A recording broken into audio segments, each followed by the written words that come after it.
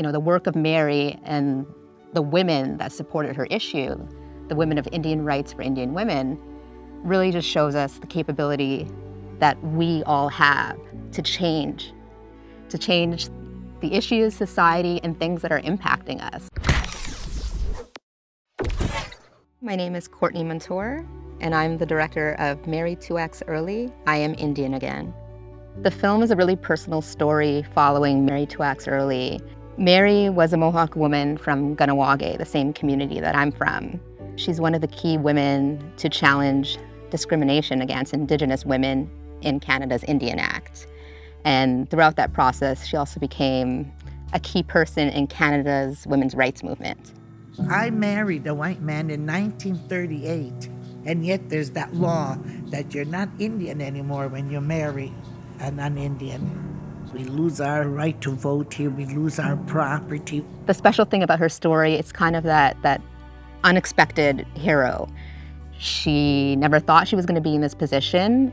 She was in her late 50s, and this issue started affecting her friends and women that she knew that were being thrown out of their community and just being said that, you know, you're not Indigenous anymore.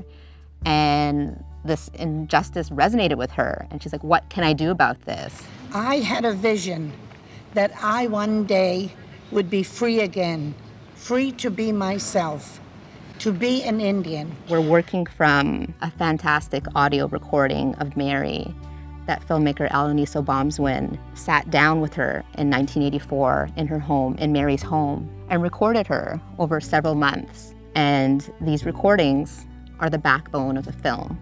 Mary Two-Axe Earley's voice, you know, being the root of this film, I, for me, is so important her history and the fight for Indian rights for Indian women has almost been discarded and, and packed up and at times forgotten. So I think it's really important that Canadians get the chance to, to hear about this directly from Mary.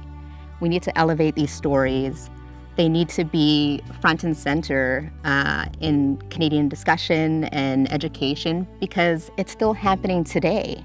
So I think, you know, this film and Mary speaking for herself is is a starting point.